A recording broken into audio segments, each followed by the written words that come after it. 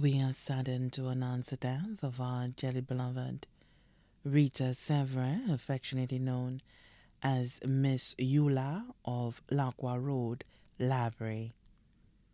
She passed away at her residence in Lacqua Road, Laborie on Monday, April 18, 2022, at the age of 86. The funeral arrangements for our beloved Rita Severin, affectionately known as Miss Eula of Lacqua Road, Laborie, will be announced in a subsequent broadcast.